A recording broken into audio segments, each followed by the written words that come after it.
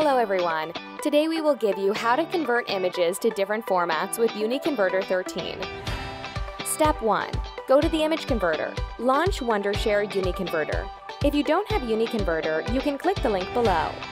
Go to Toolbox and click the image converter. Step 2.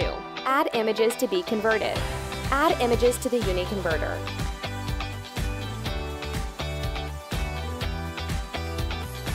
Right-click the image. There are many options.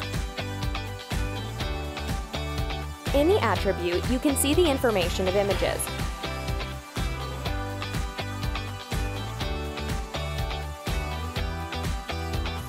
You can crop, rotate, add effects, and add watermark to the image.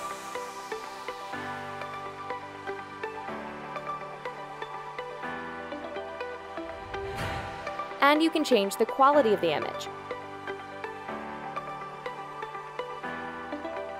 Finally, choose your output image format and click Convert button. Thank you for watching our tutorial videos.